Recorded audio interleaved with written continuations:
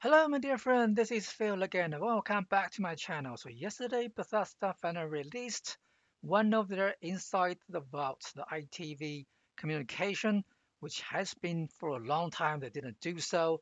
But in this ITV, they announced two new activities gonna coming in the coming week. The first one is the Fasnacht Festival celebration event coming back to the game. And unfortunately, there is no new masks as rewards has been added this time. Bethesda did announce three new masks, but they are not in the reward list, so you cannot get them by finishing the event. You're gonna have to get them from the Atomic Shop, and this is what they look like. It's pretty funny, I would say. If you do have the atoms, you can grab them from the Atomic Shop, but for me, I will stay away from it and try my luck with the event because I still have a few rare masks I haven't got yet.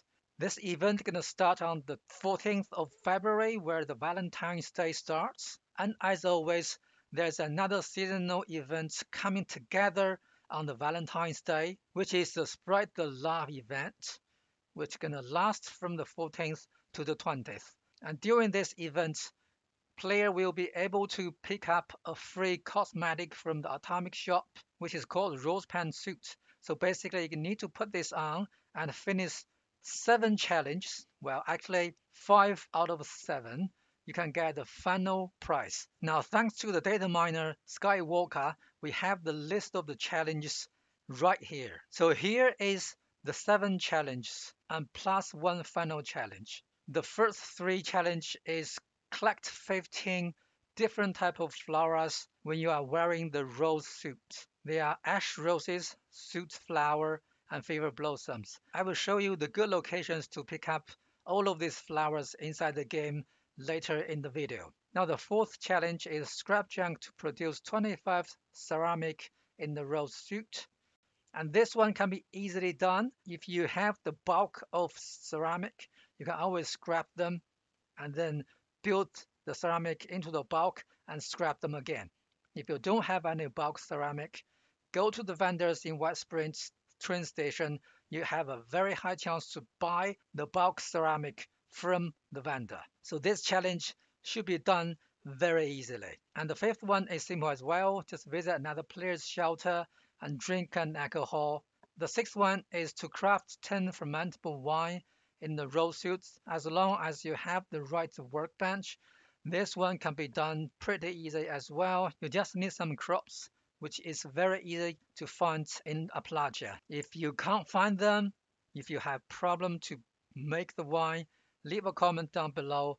I will tell you where you can get all the ingredients for them. The seventh one is extremely simple. Just visit the Tunnel of Love where in the team and in the rose suit. If you don't know where the Tunnel of Love is, you've missed so much. There is a public event triggered inside the Tunnel of Love. Or you can do a very quick search online to find where this tunnel is. It's basically inside the Nuka World Tour zone. And as long as you complete five out of these seven challenges, you will finish the final challenge in this Spread the Love event. And here's the reward list that you can get by finishing all the challenges, XP, repair kit, legendary module, Lunchbox perk pack for the seven challenges. And if you finish five of them, that means you finish the final challenge of the event. You get the flower bouquet. I don't remember what it looked like because I'm not really interested in any decoration inside the game. If you are a good decorator, then this reward's probably worth the effort. Now let me show you how to find all of those flowers you need to finish the challenges. And for Fever Blossom, they actually condensed in one single location, the deep. As I marked on the map here, you travel to the White Spring Outlook, heading north. On the edge of the mountain, you will find the entrance to the deep.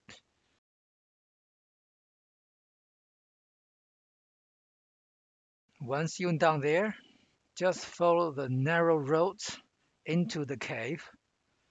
You can find one already here. They are fairly easy to spot because they glow in the dark. I would prefer to put my green thumbs on so I can pick up as many as I can.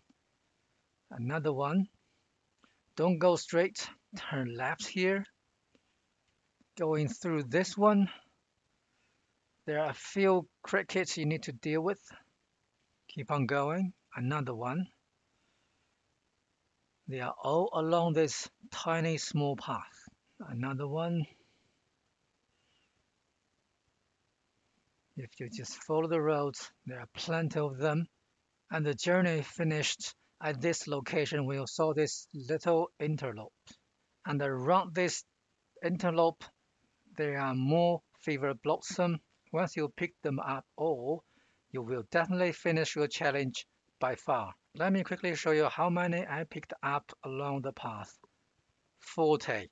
Because I have green thumbs on, that means I picked up 20 fever blossom on the way. That's more than enough to finish the challenge. So the deep is definitely the place you want to go to pick up all the fever blossom to finish that challenge. Now, soot flower, the best place you can find them is in the forest area and particularly around the waywards, right here. There are plenty of soot flower you can pick. And after you finish this pot, there are something around this camp as well. Uh, I think they are somewhere here. There's one. There's another one somewhere here. You just need to look harder. If you couldn't find enough in this one single spot, just do a several hop or two. You should find 15 of them very easily. Now let's get to ash rose. This plant got its name from where it's cabinet, the ash heap.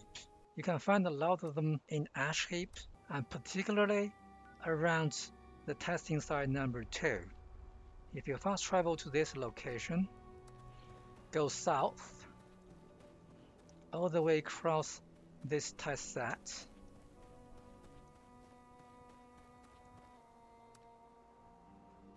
Keep on going past this big tree.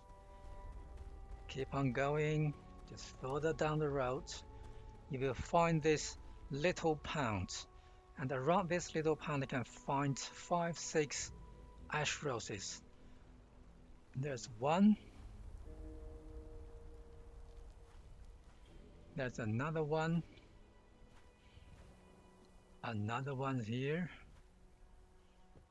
Another one here. And another one here. So there are five or six of them in this single location. And another good location to find ash roses is somewhere around Welch. If you fast travel to Welch, now follow this path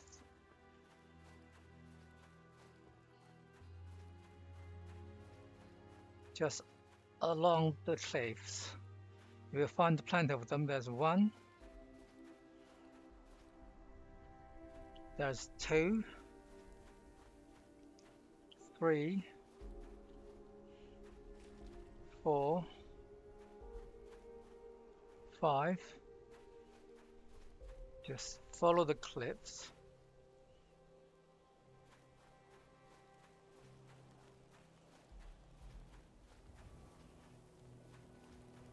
six,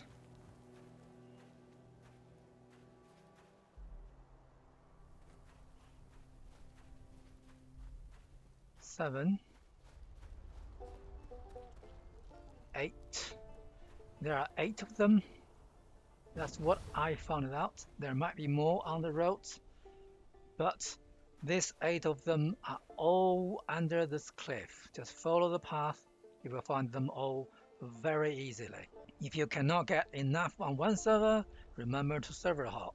And that's all the locations for the three flowers to actually finish the three challenges which is going to pop up on the 14th of February in the Sprite Love event. Alright, that's everything I want to share with you today. I hope this video is helpful.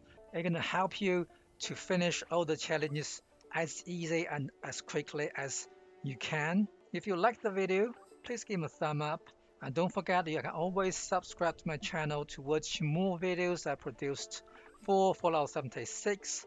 But until next time, Phil Legends out.